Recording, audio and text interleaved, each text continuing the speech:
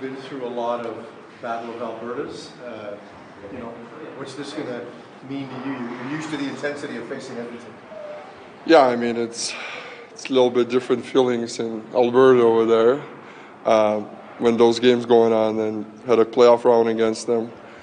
It was fun atmosphere. Definitely, it was cool to be a part of it. You know, it's such a historical thing like a rivalry in NHL. So I think a little bit different and a little bit different side right now. What do you remember about the challenges of, of facing that team? They're good. They're a good team. They're here for a reason. Um, they have two of the one of the best players in the world. So uh, I think they play deep. They can play physical game. They play fast game. They play good rush game. So I mean, it's there's definitely a lot to expect. I mean, it's a, it's a big challenge for our group for sure. How different are you now than you were then in that series? Me Yeah. personally, As a player, yeah. well, I mean, I grew. It's a different team, not injured, so that's good. Nikita, there's one thing that you guys as a team can't do against the others, what is it? turn the puck over.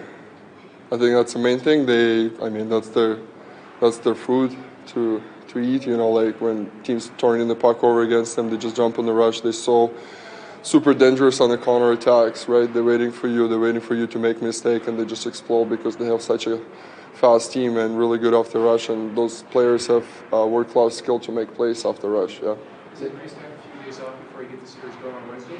Yeah, I mean, uh, we were watching the Dallas game yesterday, kind of expecting to play either Tuesday or Wednesday. It's it's always nice for the body, you know. Especially it was pretty physical defensive game against Nashville whole series, so I, I thought like you can uh, heal up a little bit for sure. Nikita, you've been here long enough to get a real appreciation of Quinn, and sometimes in a series you have to do things that maybe you don't have to normally do. Like he was targeted against the Predators a lot, uh, but he still made key plays. Uh, where was your level of appreciation for the game he brought in a very tough series? Yeah, I mean he, I mean we expected it, you know, like he's our best D man, arguably the best player on our team. So, um, I mean, he's a he's a tough boy. You know, it's uh, he can handle it. You know, he took a couple hits. Obviously, um, it's a learning process through him for him as well. You know, like it's a first real playoff series for him. So. Uh, I mean, I thought he did really well. He uh, stepped in when he needed to, um, got us our players. You know, he played 23, 24 minutes a night. He's been good. We won the series, so it's definitely big praise for him. Rick talked about the D corps just anchoring the team, especially with that veteran playoff experience. How much pride do you take in the ability to have some of the younger guys lean on you?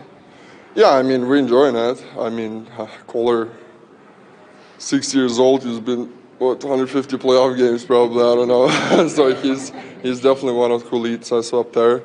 You know, he's been on the two incredible teams, won Stanley Cups with Pittsburgh, and uh, has been in the league for so long. You know, he played uh, he played his first playoff series. What was it? 2010, 2011 with Buffalo. I was still in junior hockey in Russia, so it's uh, it's definitely an interesting group. You know, uh, we just gotta go up there and buy in like uh, they are. You know, like uh, the blocks, the, the blocks that we're making. You know, the guys laying their kids on the line and all that. So it's always appreciated inside the team. I think it's uh, it's definitely it was it was different emotions first round for sure. I, I like I experienced before, you know, first round there's a lot of emotions, there's a lot of running around, hitting and everything, sending the message. Guys are super emotional. Now it's kind of settles. Now it's back to business. So I think second round is going to be a little bit different.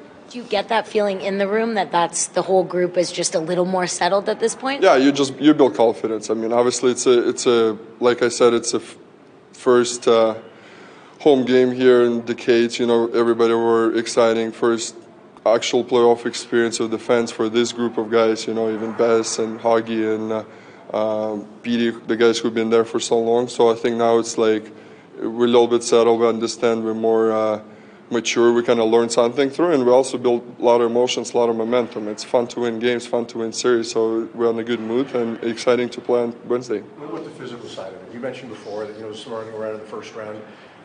You like to play a physical game, and, and really your whole D corps does, other than maybe Quinn. When when you get a team whose power play is that good, how difficult it is is it to play as physical as you are? Well, I mean, you can play physical, stay inside the line. Physical is not just to hit people. Like physical, it's been hard in the puck. It's uh, hard box outs, hard in the corner, win battles.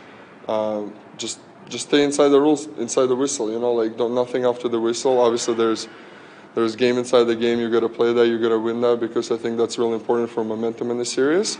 But like I said, like you can stay physical inside, and we've been doing a good job with that for sure. Nikita, how different do you think the flow of this series will be compared to what we saw? I'm not taking anything away from Nashville. I know they blocked a lot of shots, but you're playing a different team with, speed and skill. Can, can we see? Do you, do you expect it to be a different pace series? I don't want to change our style based on the other team's style because I think that's what they want. They want you to feel like things opening up and then you make mistake and it gotta cost you. So I think that's definitely their style. And from my previous experience with Calgary, I thought that's where we kind of got burned in that series. You know, we kind of had a really defensive first first first round against Dallas. It wasn't many goals. It was a lot of defensive game. It was lots of physicality, and then we went play Edmonton, and things opened up, and guys got a little too exciting. And that's that's their style. That's what they want you to do. So I think it's like even kill. You have to like play same way. You have to play smart, and we. I, fe- I think like. We've been watching a lot of videos past two days. We have a good game plan for Wednesday for sure. Couple more, please. We've been talking about playing physical. You're a physical D, but what's a challenge to be physical against a good skater like McDavid? Well, I mean, just uh, be, be between him and the net all the time. So I think that's the main focus. Obviously, he's super dangerous after rush. He's super dangerous one on one. So it's not only me. It's a five five unit job on the ice. You know, to check him, to skate in front of him, to don't give him any room. You know, take the ice away. Like he's he's really good at creating the open ice, and then he can explode you with his power, with his skill. It's a world class player. I mean, one of the best in the world for a reason. So I think it's it's definitely expectation over there, but. Uh, we're excited for the challenge.